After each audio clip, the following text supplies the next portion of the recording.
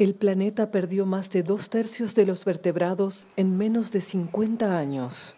Según un informe del Fondo Mundial para la Naturaleza, las más afectadas son las zonas tropicales de América Central y del Sur, con un desplome del 94%, especialmente para los anfibios, reptiles y peces.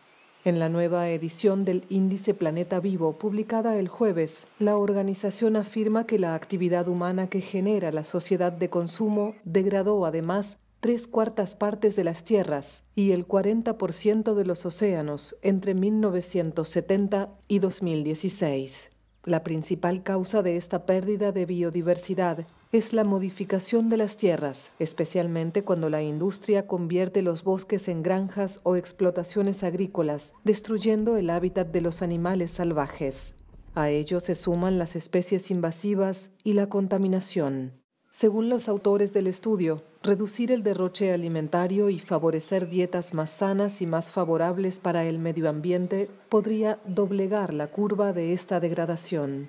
Y si se combinara con un esfuerzo radical de conservación, estas medidas podrían evitar más de dos terceras partes de las futuras pérdidas de biodiversidad el informe, elaborado cada dos años, alerta además del riesgo de futuras pandemias a medida que el hombre extiende su presencia y entra en contacto con animales salvajes.